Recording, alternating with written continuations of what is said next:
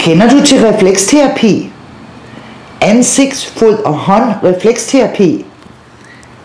Et interessant tema, der kan hjælpe mennesker til en bedre sundhed på en helt naturlig måde. Både for fysisk, organ og emotionelle dysfunktioner.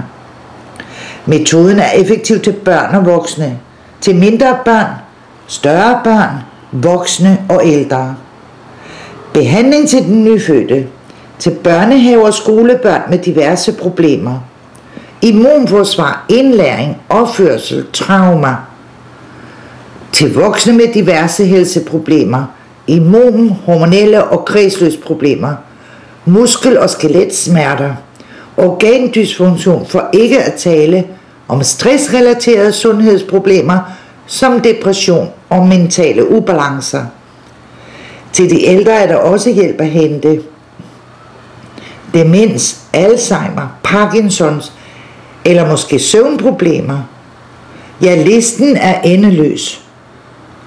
Brænder du efter at arbejde med hjemmetræningsmetode?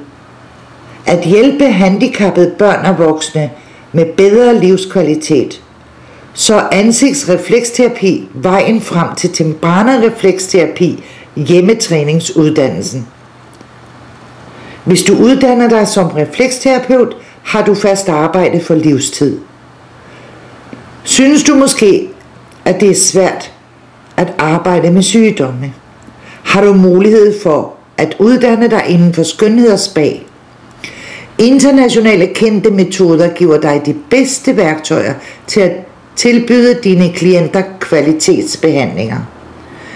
Tilmeld dig her og modtag helt gratis et kompendium med behandlingsprotokoller til selvbehandling med ansigtsrefleksterapi.